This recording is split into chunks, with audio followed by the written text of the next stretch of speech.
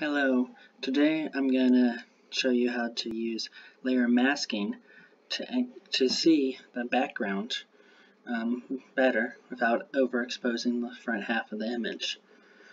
Since the back half is currently underexposed while the front is um, significantly exposed quite well. So what you'll want to do at first is use the lasso tool it's quite good to use to select images, especially if it's not exactly straight, because you don't want to get these overexposed areas.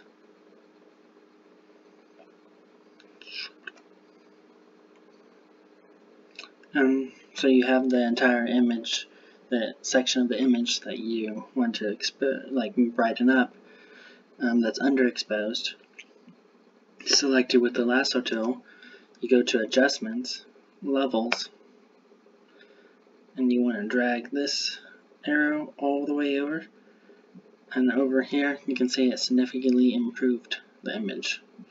Before you couldn't even see like a lot of this stuff.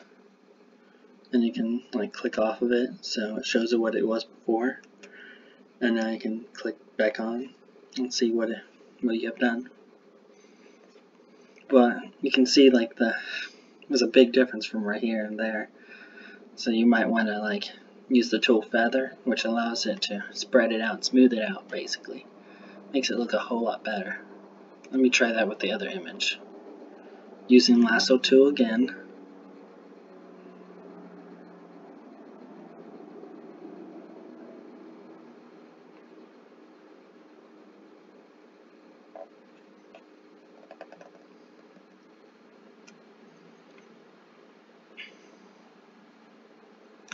Now you want to right click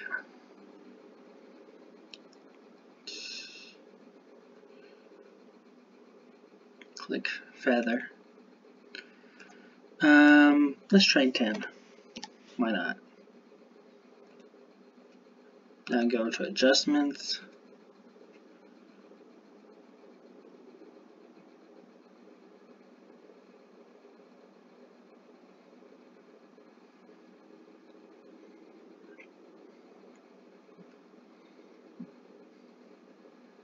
Hmm. I think that right there looks the best.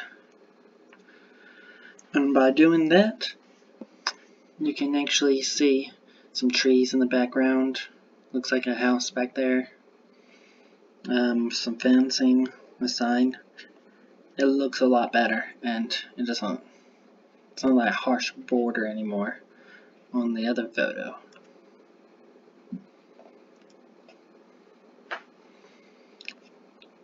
Well, that's it. Have a good day.